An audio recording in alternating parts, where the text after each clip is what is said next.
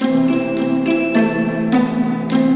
दोस्तों, आज हम आपको बताएँगे कि स्वीट पराठा अगर आपने खाना है तो घर में कैसे बना सकते हैं।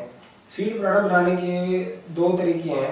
एक तरीका है कि जैसे ही आप घर में रोटी बेलते हैं, उसमें थोड़ी सी चीनी रखें और उसको बंद करके, बेल के और जैसे रोटी तवे पर बनाते हैं, उस पर बनाकर आप घी डाल के, देसी घी डाल के उसको पका सकते हैं।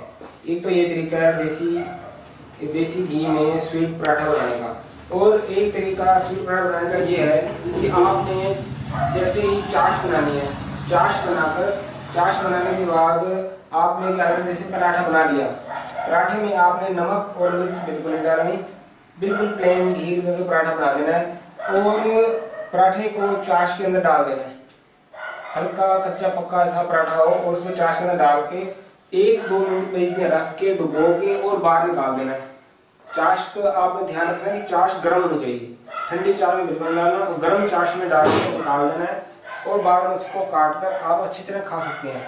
और यह स्वीट पराठा बहुत अच्छा स्वीट पराठा बनता है, खा के देखिए। Thank you very much